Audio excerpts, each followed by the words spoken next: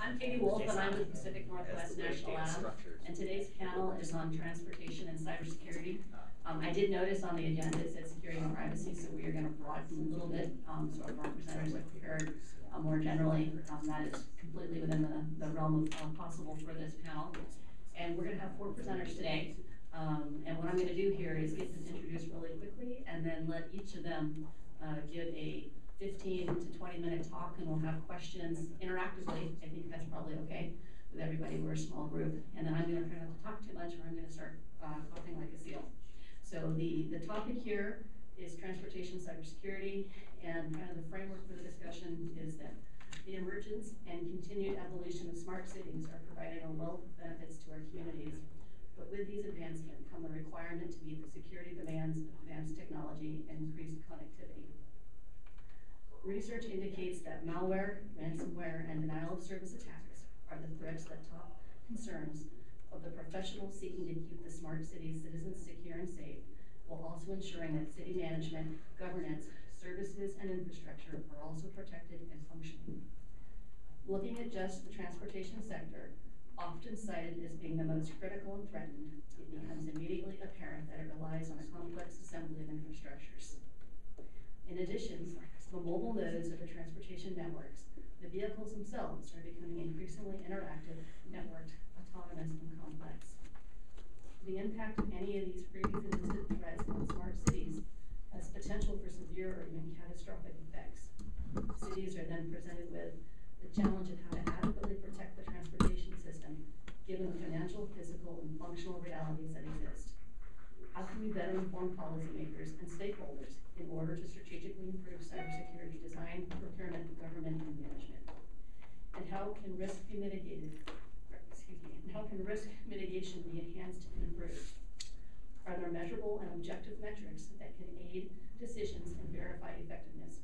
In this panel, we will discuss a variety of approaches, test beds, tailored vulnerability assessments, modeling and simulation, and how employing these approaches to empower risk management initiatives would result in more efficient, effective, and affordable cybersecurity.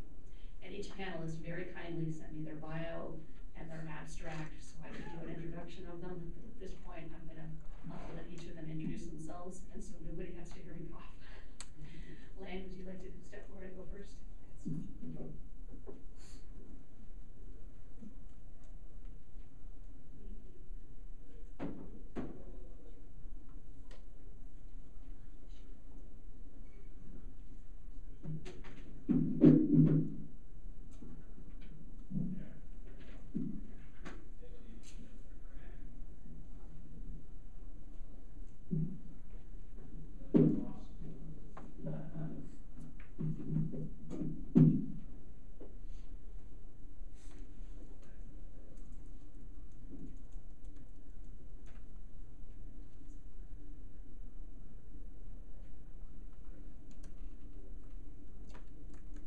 Hi, uh, everyone. Thanks for being here. So just go quickly uh, about my background.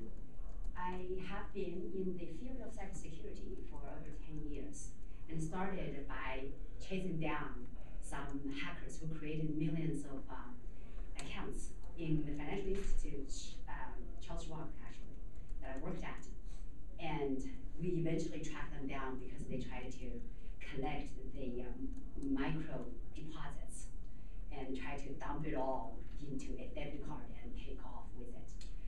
So we were able to track him down, and then mercilessly, he um, made a mistake about um, trying it out, you know, doing reconnaissance um, with his actual name and address and everything. So that's how we nailed them. And then from that point on, I got more and more interested in this field, and I realized that just getting every one of them down is not scaling.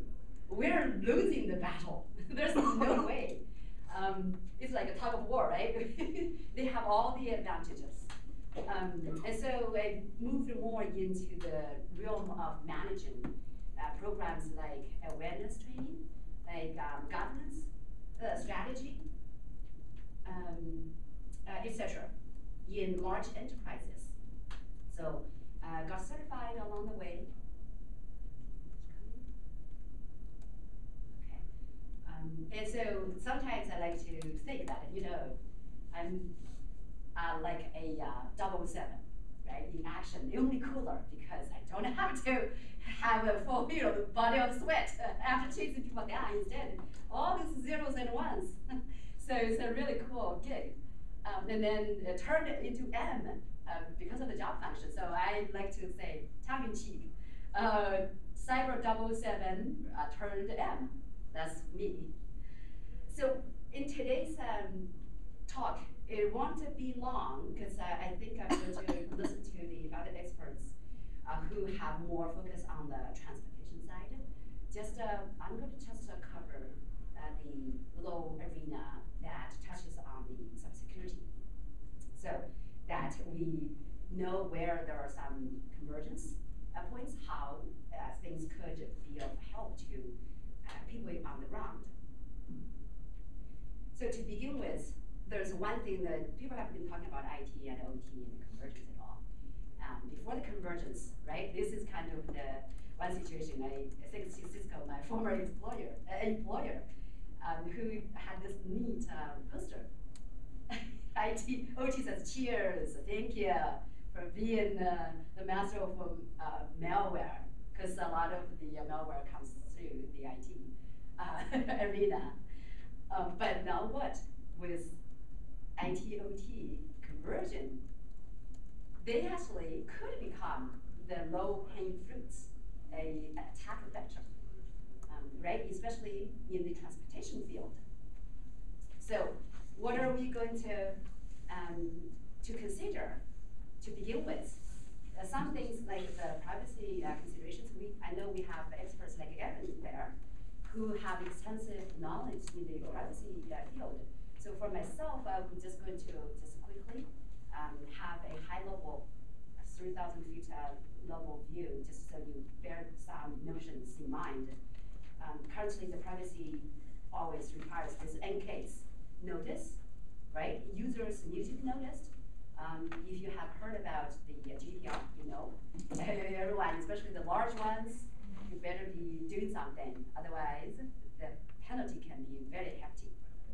Uh, consent, users need to give them their consent before you can collect anything.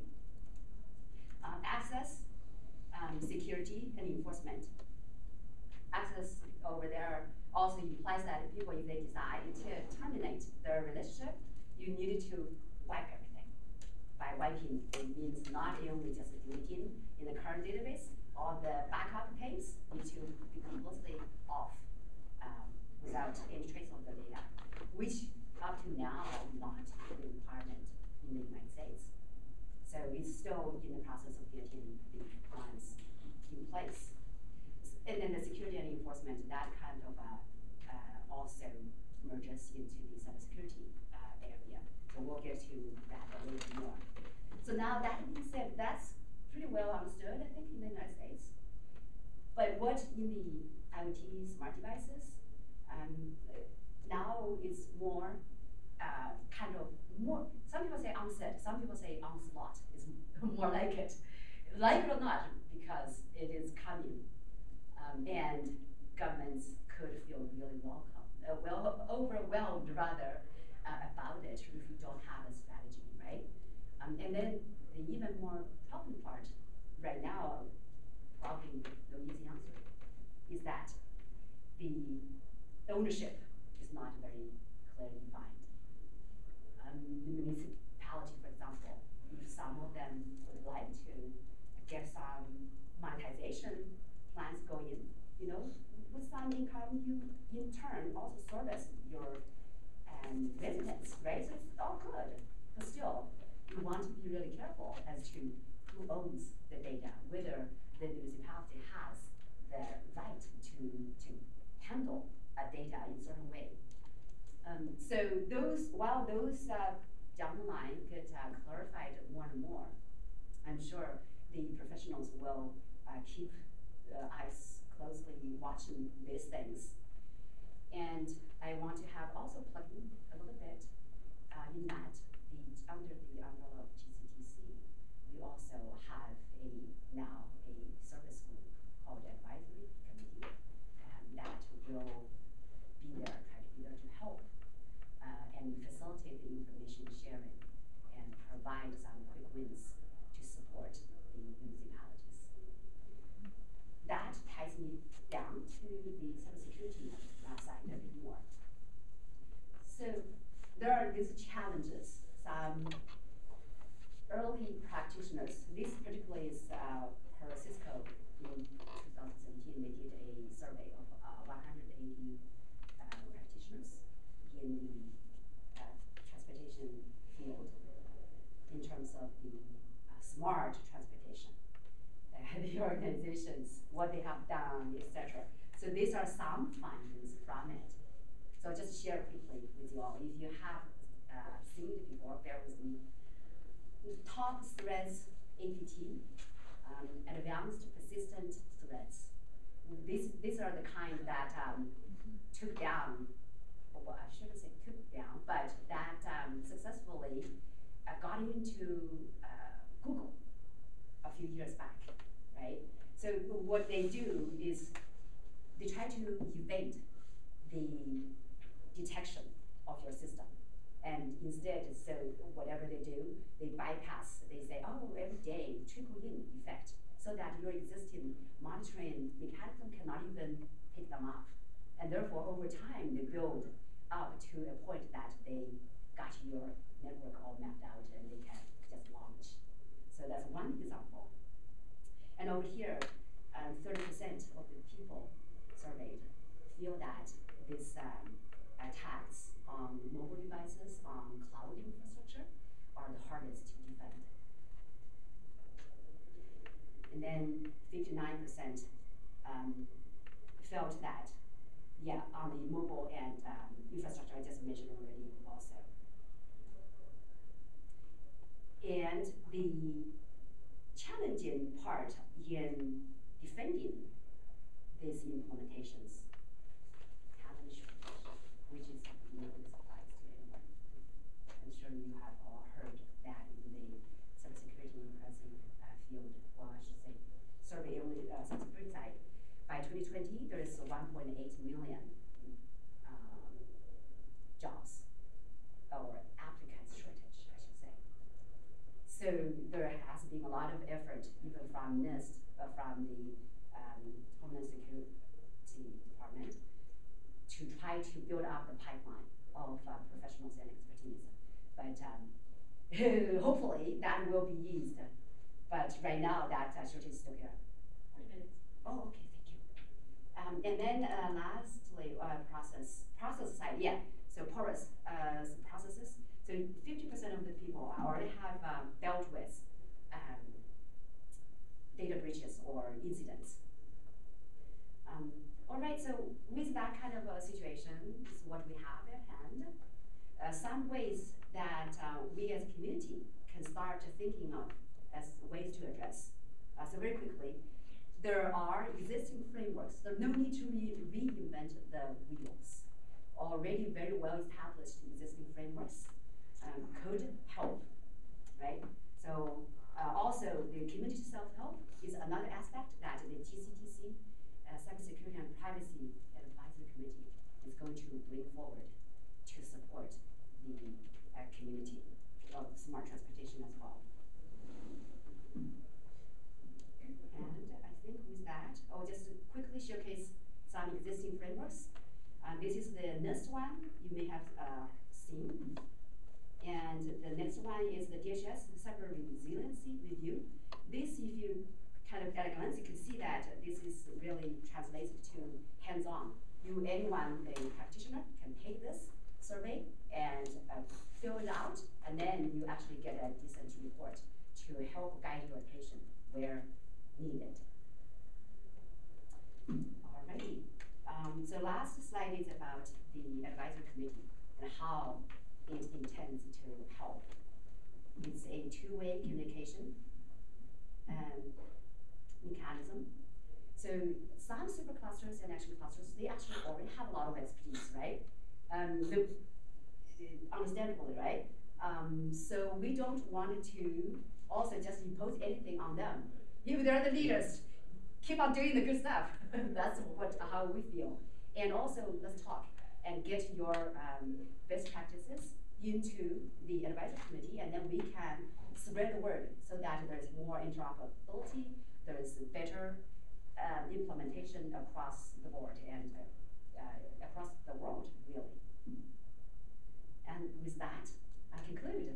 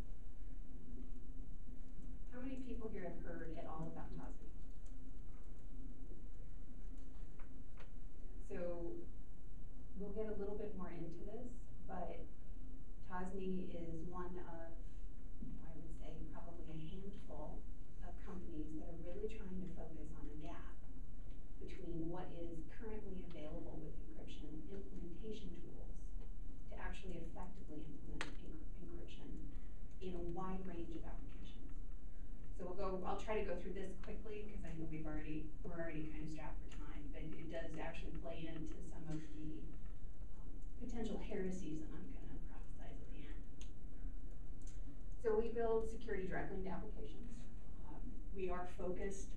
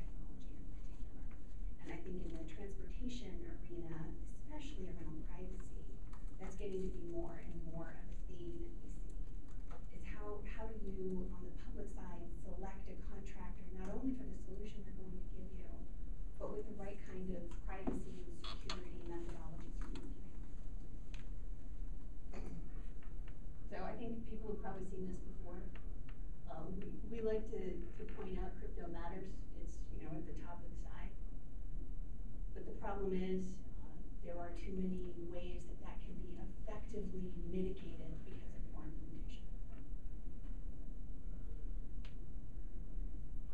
these are Isaac's words, not mine, but I have to agree that security defense is a disaster. Um, cryptography in general is the best solution, but that's a moving field at the moment. I mean, everybody talks about quantum cryptography, which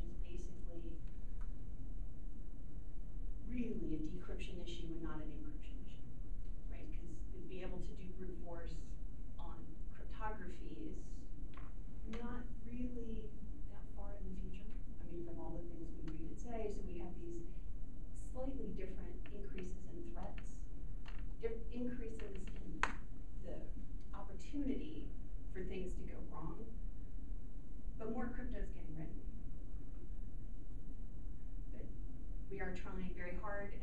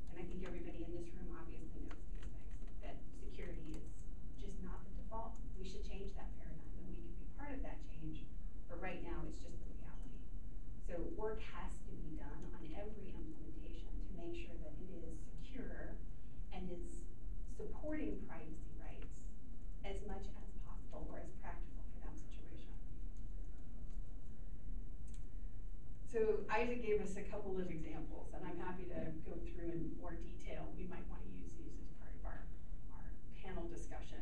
But you know, this is, I think everybody's probably familiar with what happened with Strava and the ability to identify military bases or other critical installations um, by virtue of de truly de-identified data. They de-identified it by a common standard, and it was still not having the intended effect, shall we say. Another one, I think people are also familiar with this. I'm happy to talk more about it. Um, you know, here again, de-identified data done for the purpose of trying to understand traffic routes and traffic planning uh, ended up having an unintended consequence of violating privacy. So this is the NIST objectives. Like I'm, I'm skipping over all this because I'm watching. Just Because if anybody wants to talk manageability, manageability, disassociability. We tried very hard to implement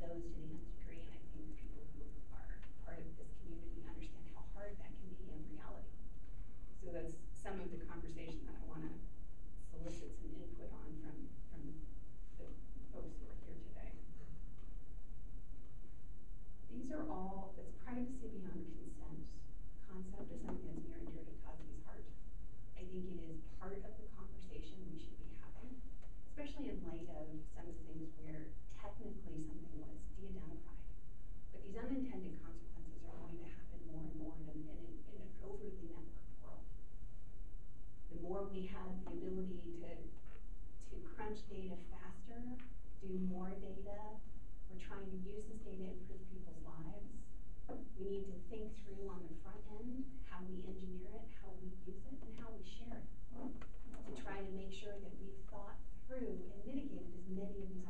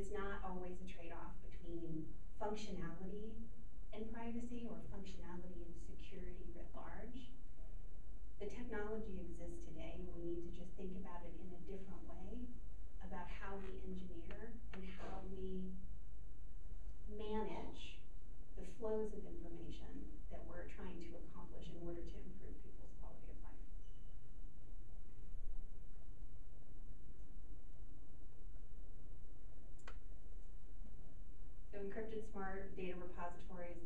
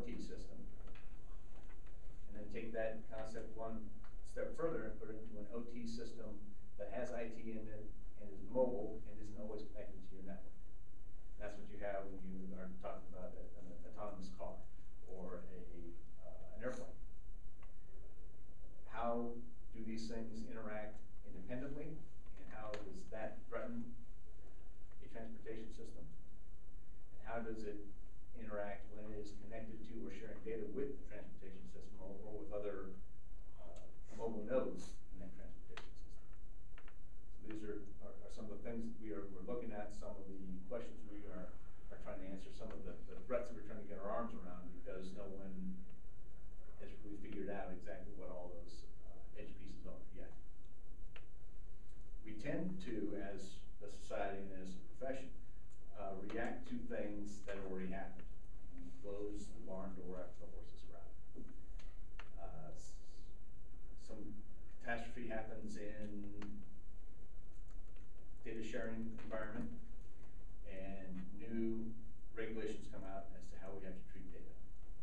And it's compliance based, and it's fixing the last problem, it's fighting the last war.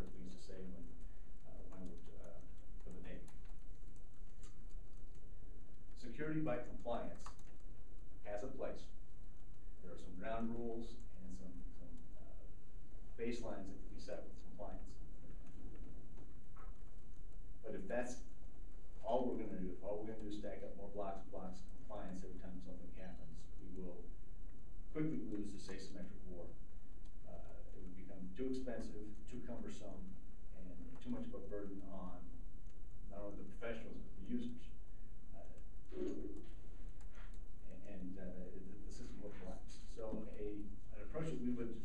preferred way to take would be a, a risk management solution, a, a, comprehensive analysis of the risks and identification of those that are most important, and a structuring of your defenses and, and your defensive posture to address those things of most significant importance and uh, basically give you the best bang for your buck.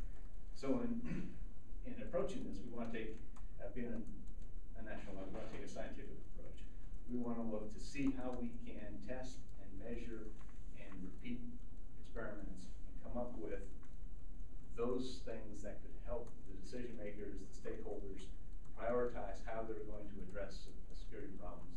Make sure that a threat that has been identified is an actual threat in the environment where they will be operating. And come up with a effective and efficient solution or mitigation for that risk. And that's what we've been trying to do in looking at the vehicles, the air, uh, aircraft, uh, cargo containers, automated, uh, facilities that, that, that move cargo around, things like that. Something in the lab that we like to do is, uh, the rigorous scientific part, testing, creating a test bed that is flexible and adaptable and that can plug in the various pieces that you would see in an OT or an IT environment and then exposing that test bed to uh, a set of viruses, uh, a coordinated attack, some sort of an impediment for that system, system operate, and make this a repeatable process so that you can try different defense strategies against that known threat and come up with a actual measurable set of metrics and results to either validate or invalidate different approaches. Same thing goes with modeling and simulation. There are certain places where actually setting up a virtual network aren't practical. You need to develop a, an effective model and then run countless simulations against it to verify what, uh, you know, what your test case is, is, is trying to prove. The tricky part is when you can apply one set of scientific tools versus the other, or when to feed one to the other. For example, if I model a very large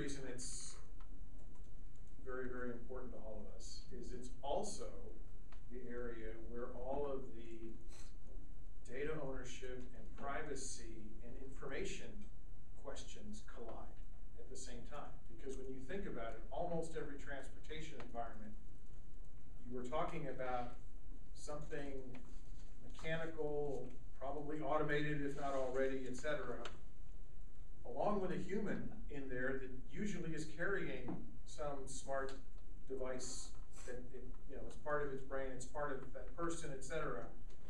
And so the data flows inherently involve both easy engineering questions and user data, elements of pattern of life or whatever. And there are multiple companies of different kinds that want that data. The insurance companies, the automotive companies, people that want to keep the data to themselves. You know, stop and think about it. There will come a day when you'll have a major food fight in Congress and ACLU and everything else over the fact that, wait a minute, my iPhone's spying on me while I'm in the car and now GM has the data and it, you know, that will happen. It's just a question of when. And so, on the one hand, transportation, smart city activities is inherently easy and engineering interesting and, and a lot of stuff you can do.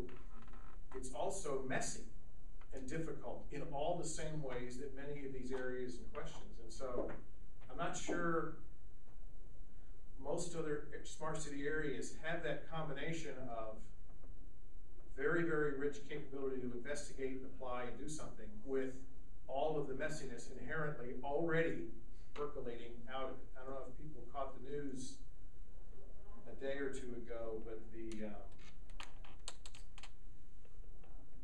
the CEO of Audi was jailed as a preemptive measure to keep him from contaminating or influencing the ongoing automotive investigation with VW. And I think that's an indication of the fact that transportation is as rich a topic to investigate these things.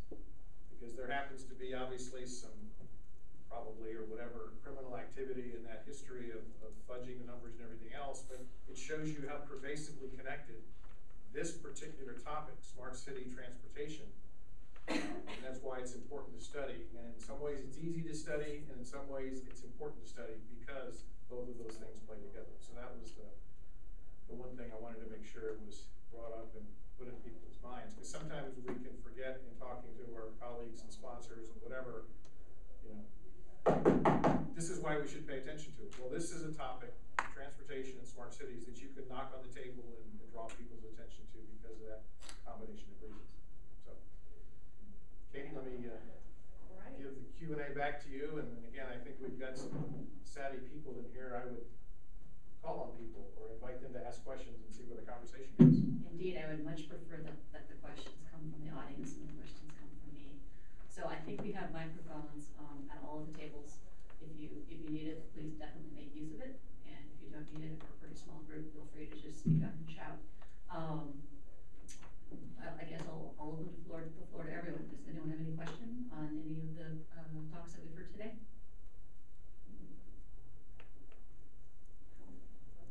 Do you have a burning question at the back table? Not really a burning question, but, um, uh, I, I don't know if it was a years ago or was going to be a, a sensor palooza? It's be a, demonstration, a gathering and a demonstration of various kinds of IoT sensors. And one of the things that I was thinking about since then was this whole, uh, security ecosystem for IoT. You know, coming from, from the perspective of smart meters, we digitally sign the meter itself, the, the data that's passed from the meter up to the billing system has got uh, cryptographically um, trusted information in it so that billing can take place. This is a, a, a dollar value. This is, if it, if it's broken, it means that people are being cheated and, and billing is inaccurate. So it's really important that that take place accurately and that- that it's trusted. And that's been the technology for some time, is to digitally sign each one of those meters as they're being manufactured. And that signature goes up to the network and the processing and so forth. So I think about this in the same way, is, is that extensible in the, in a general sense for IoT sensors and saying, yes, it's really me, I'm really a sensor at the end of this network, and I'm not spoofing video data, I'm not spoofing audio data, um, you know, you can trust that this source of data is dependable because I've identified myself as a real endpoint.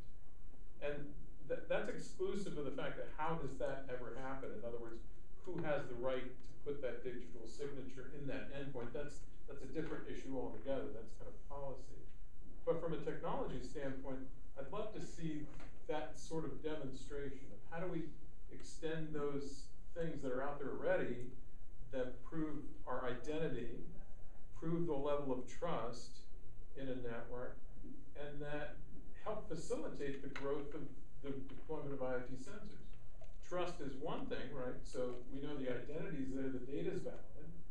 That's also a little bit separate from individuals and communities trusting that that data actually should be collected and how it's collected. That's policy and that's outreach and that's educating the public and that's showing that there's a benefit for this kind of data and that we've applied some kind of controls to that. I like the presentation earlier about security, about cutting up a video stream into pieces, encrypting those pieces in real time, and then showing that that data is very difficult to have a man-in-the-middle attack or to extract that data from a stream. Those are other kinds of technology and applications that help the IoT sensor business move forward. For smart cities to move forward, obviously they want a, a huge infrastructure that tells them exactly what's going on in their city. They wanna know if there's an emergency, if there's a fire, if there's a weather front, if there's an earthquake, if there's a storm, a flood, a hurricane, uh, whatever it is, so that they can be responsive and mitigate all of the damages that occur in any of those conditions. Uh, so, so my core question is, how do we get to the point where we identify those kinds of examples, those kinds of tests, those kind of, that prototyping?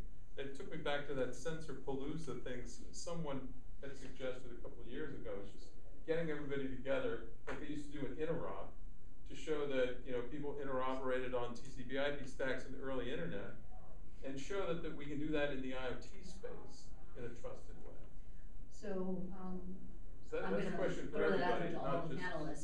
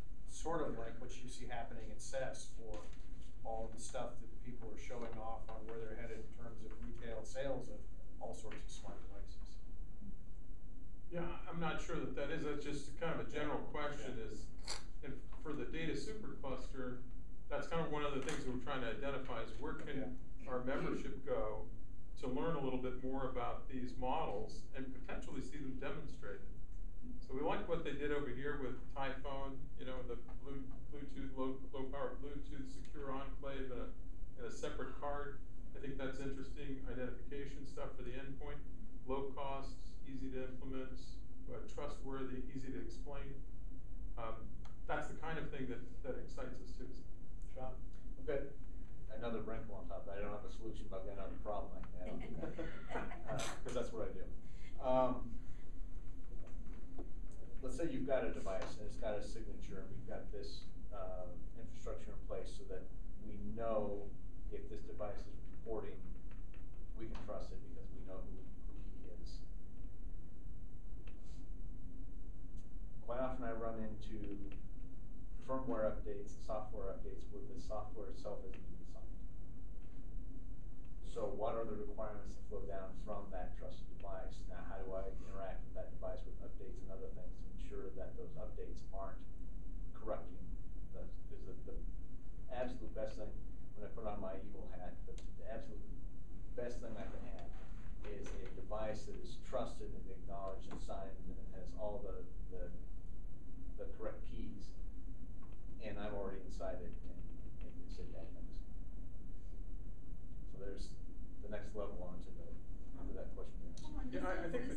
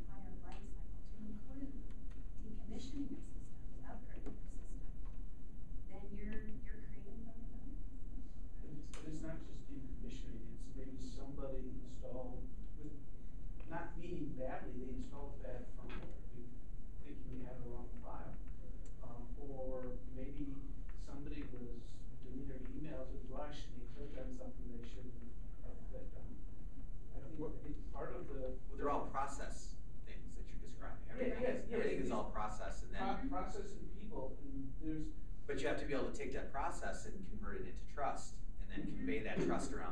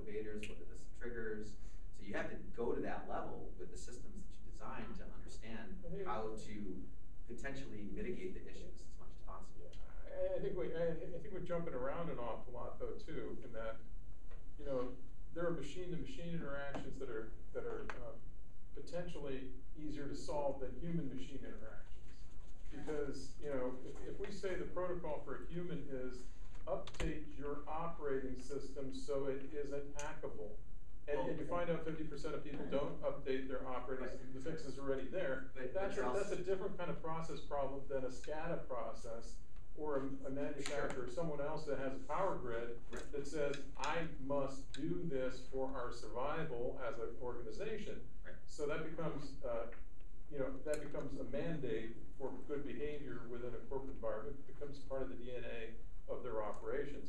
So, so, so what I was pointing to is like on the IoT and the machine side of things, what can we do? To, to, to demonstrate that IoT technology can be adopted by smart cities, by smaller communities and so forth, and reduce that friction. If I jump all the way over to the human interface and say, I've gotta fix that as well, then the scope of my problem is, is uh, Well, but that nearly machine impossible. machine interaction is still a human problem. Yeah. Right, They- to, to say that there's no human involved in that. I didn't say that, I didn't say that, I just say, reducing the scope to say, I've got a controllable environment where I wanna set a blueprint up that says, Right. if you're going to deploy these kinds of sensors, these are the highly recommended things that you do. Best And that should be part of your plan Right. before you achieve any compliance with a blueprint. That's all. And- So is there any accreditation body who has standards and requirements around that? Does that exist? Well, I mean, there's, we, we just had a great conversation about the, uh, the SANS group and their recommended, right. recommended series of things that you can do.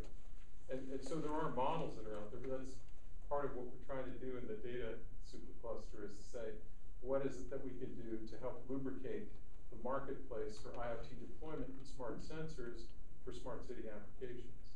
So that, that's my motivation in asking the general question of where can we go to get examples of that?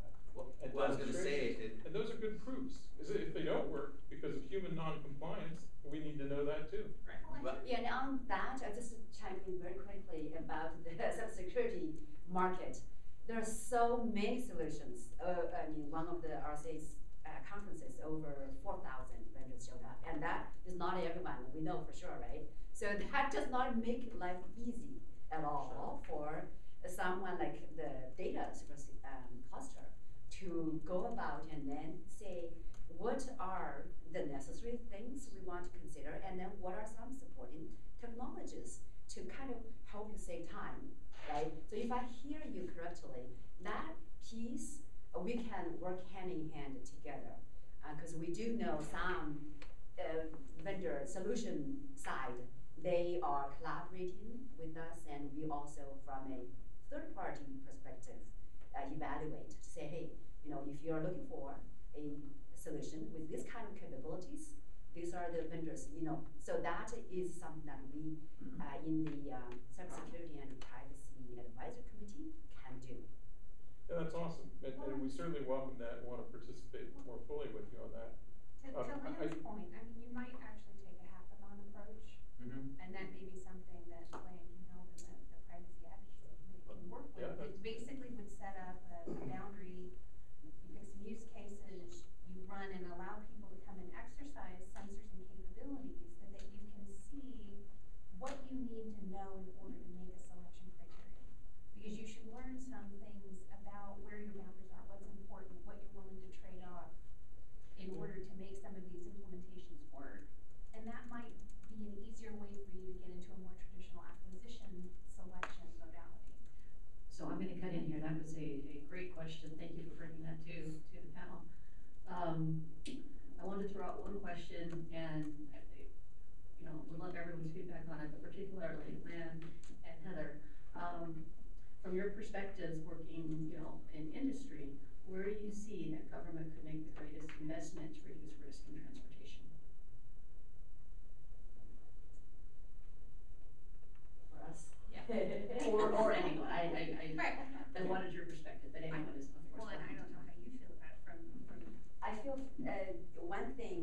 government has already started doing, not that they haven't done uh, anything, but uh, one thing is the timeliness. That seems to be a consensus that people are wanting some standards. They cannot arrive soon enough. It's like yesterday, we needed it, um, right? Because without it is, um, you, for the for-profit uh, sector, you're like, I'm itching to go there is a market, right? Do I deliver now? And then later on, when you publish standard, I have to revise, you know, come backwards. and so there is a, a bit of demand in that, um, in that um, domain. And so we actually also took that from earlier roundtable to uh, try to speed up um, as a supporting group so that we could uh, provide the advisory committee's um, summary to the government bodies, um, NIST, um, DHS, um, the you know related or government bodies, so that